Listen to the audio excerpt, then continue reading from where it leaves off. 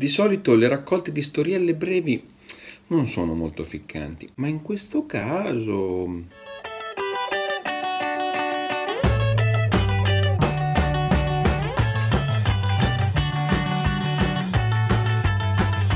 Beh sì, l'ho già detto diverse volte, a me eh, piacciono le serie lunghe che sono fatte di albi autoconclusivi o di storie che si susseguono, però insomma eh, mi piace tanto più eh, sia spazio, modo, eh, con tanti albi, tante pagine per approfondire le questioni, empatizzare con i personaggi e quant'altro. Quindi di solito le storielle brevi, così lanciate là giusto diciamo per intrattenimento o per dare qualche squarcio maggiore in un universo, mm, mi eccitano un po' meno, come in questo caso le leggo, però mi eccitano un po' meno. In questo caso, in questo volume abbiamo tre storielle da Mos Eisley, quindi la cantina famosa dove, si, dove si incontrano tanti personaggi tra loro molto diversi. Adesso andiamo a vedere perché, secondo me, un pochettino meritano.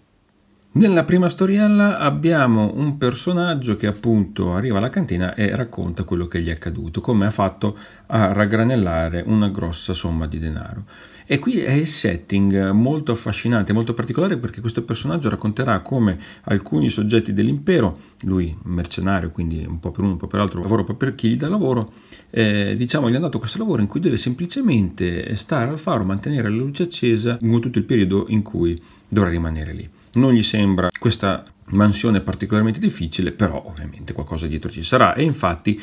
ecco che eh, poi arrivano come queste ragazze, sorta di sirene, eccetera, e lui però gli ha detto tu devi rimanere all'interno e non uscire mai. Lui nonostante tutto, quando vede queste ragazze, eh, alla fine cede e le vuole fare entrare. In realtà eh, purtroppo scoprirà successivamente, perché questi qua cercano di attirarlo eh, da qualche altra parte, che queste ragazze nascondono in realtà un mistero, è un mistero che è presto detto, infatti questa è una sorta di isola dove vengono poi fatti arrivare determinati carcerati, come vedete le ragazze insomma si trasformano in qualche modo e fanno una brutta fine. E lui dovrà rimanere lì e resistere al richiamo di queste eh, donne che utilizzeranno probabilmente, evidentemente, qualche stratagemma in più per riuscire in qualche modo ad attrarlo o ad entrare. Nel caso leggetele per scoprire come andrà a finire. Comunque questo setting di questo faro in questa spiaggia abbandonata una cosa molto particolare anche per Star Wars stessa, però tutto sommato ho trovato intrigante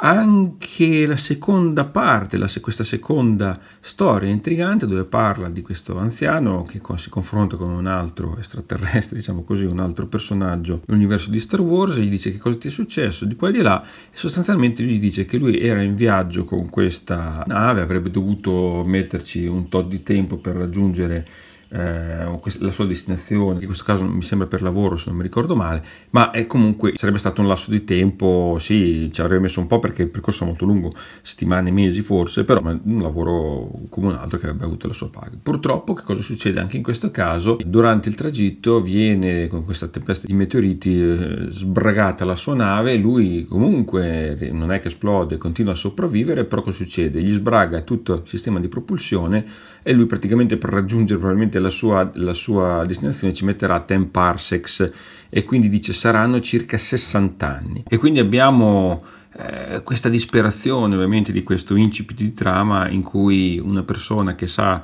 che anche appunto a distanza dalla sua amata ci metterà 60 anni e vivrà sostanzialmente tutta la, tua, la sua vita da solo in questa situazione poi scoprirà durante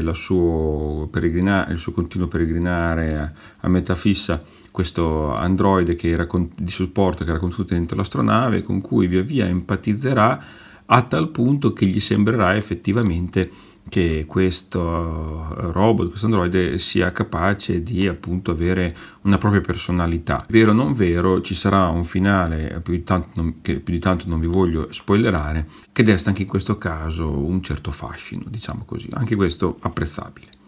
Infine, invece, l'ultima eh, parla praticamente di quest'altro anziano che racconta a questo giovane che si stava godendo il suo drink in una panchina e gli dice guarda se mi dai un po' del tuo ti faccio assaggiare il, il sapore di questo uovo di questa specie di grump, un essere abbastanza tipo un dinosaurone, un dragone, roba così gigantesco e lui gli scro- riesce a scroccare sto goccio soprattutto grazie al fatto che gli racconterà a quanto pare come si è riuscito a sopravvivere, a sgraffignare un uovo di sto essere e, e, e uscirne vivo per poter appunto tornare a casa, raccontarlo e avere eh, questo coso di uovo da poter dare. Poi in realtà il sapore del, di, di, di succo di uovo di questo coso non sarà questa eh, meraviglia e rimarrà ovviamente fregato. Questa è una, più una storiella, tra l'altro anche eh, ecco come avviene diciamo più che lo scontro, il confronto tra l'uomo e questo essere ci mette un po' anche qui del mezzo paranormale o cose un po' strane e ho goduto meno questa terza storia, anche se effettivamente anche questa è particolare. Le storie quindi le ho trovate piuttosto appaganti e nel complesso, pur essendo appunto un arbo composto da mini storie, direi che comunque il suo set se l'ho saputo guadagnare con queste storielle intriganti. Sul disegno invece purtroppo siamo ancora degli standard anni 90 non esaltanti delle grafiche della Marvel e qui purtroppo anche se alcune tavole sono più indovinate la media per me non raggiunge la sufficienza quindi 5,5 per questo Brett Brevins che non mi ha del tutto convinto. Ma ribadisco magari neanche troppa colpa a lui attribuibile tanto per i disegni mm, sì, non esaltanti ma nemmeno così malaccio quanto appunto per la colorazione e le grafiche datate che io purtroppo soffro un po', soprattutto quando non c'è una certa classicità e un certo stile più classico generale. Nel complesso quindi è un albetto che io eh, consiglio agli appassionati di Star Wars che appunto eh, oltre alle storie principali vogliono recuperare anche eh, tutte le altre storielle alternative e questo come albo, come storielle si fa particolarmente apprezzare. Rintracciato al giusto costo oppure se come me avete libero accesso a tutti gli albi mai pubblicati dalla Marvel potete recuperare questo che comunque vale la pena essere letto. Anche per la recensione di questo piccolo albo è tutto. Se anche voi a vostra volta lo avete letto, fatemi sapere che cosa ne pensate e se avete trovato abbastanza gradevoli come me le storie. Noi ci rivediamo al prossimo video. Ciao!